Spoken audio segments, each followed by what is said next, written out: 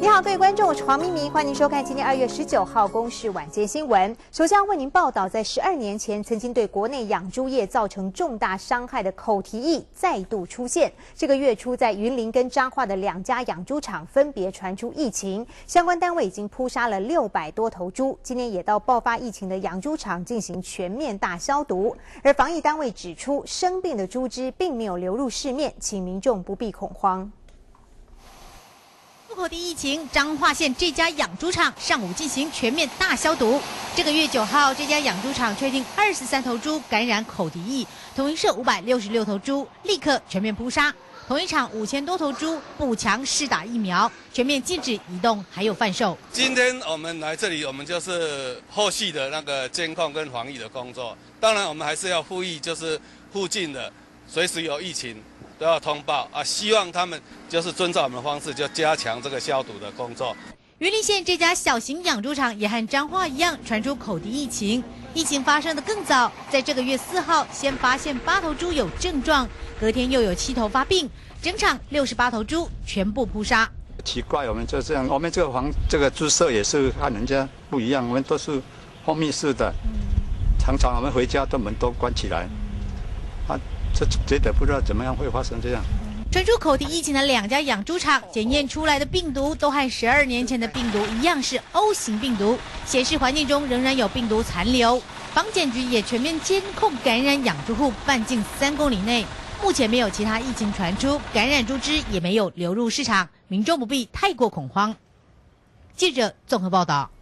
口蹄疫在线，让养猪户心里一惊，就怕民众过度恐慌，以后不敢吃猪肉了。好在今天在市场并没有出现这样的反应，而猪价也是维持平盘，没有异常波动。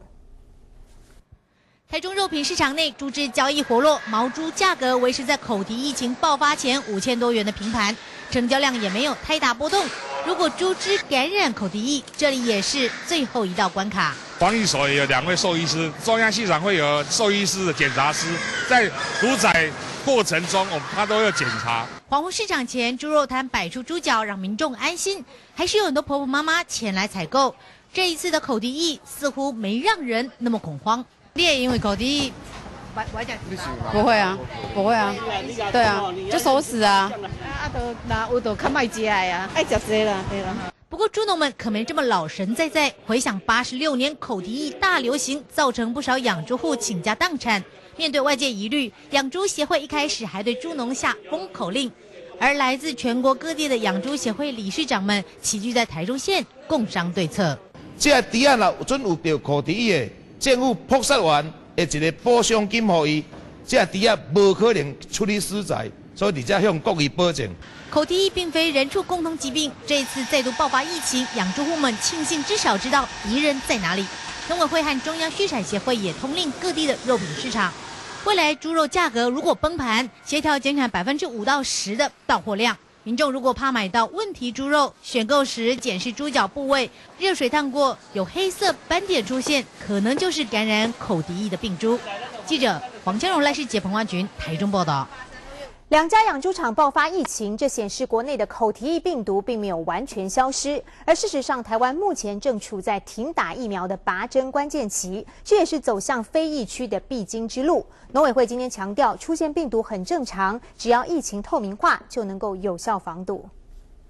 彰化园林地区证实猪只感染口蹄疫，问题之所以严重，是因为这次染病的并不是实验的哨兵猪，而是一般猪只。也就是说，口蹄疫病毒存在猪场里面。不过，农委会强调，出现病毒很正常，农民绝对不能为了防堵病毒就去打疫苗，否则拔针的政策会功亏一篑。这一次的这个口蹄疫的这个病例的发生，实际上是在我们。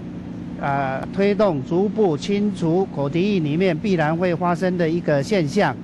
台湾这条拔针路走得很漫长，十二年前爆发口蹄疫，从此防堵口蹄疫就靠打疫苗，一直等了十二年，农委会评估病毒应该慢慢消失了，才进行阶段性的拔针。